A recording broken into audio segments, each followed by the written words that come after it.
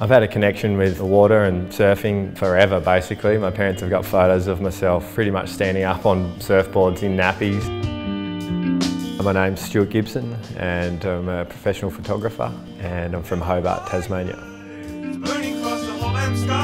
First housing I bought was off Bill Morris and it was for a film camera, Canon EOS 5 and my friend had that camera so I bought the housing and borrowed that and then just chased around a heap of photographers looking for second-hand gear and I ended up getting one through the local newspaper at home, started banging away with that EOS 1N and uh, yeah, moved up the ranks from there.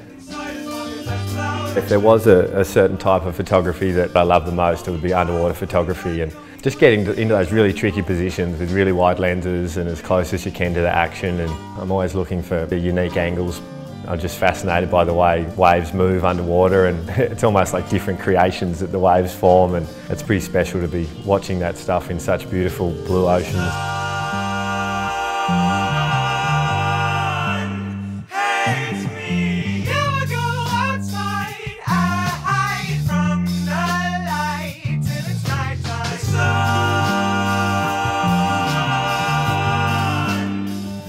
Shooting in the water, it's, it's hard work. You're swimming for hours on end, whether it be really cold water or really warm water. They're both as hard to manage. Dodging waves, dodging surfers, it's, it's all coming at you. You've just got to manage them and make sure you've got all the ingredients ready in your camera and when the moment pops up, you grab it.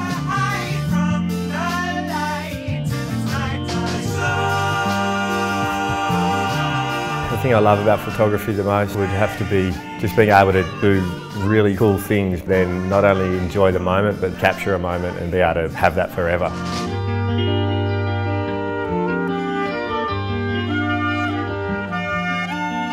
Guess just one of the most amazing things about me being a photographer is it's given me some of the best experiences of my life and taken me all around the world. I've met some of the most amazing people and worked with amazingly creative people and without photography I, would, I don't know where I'd be.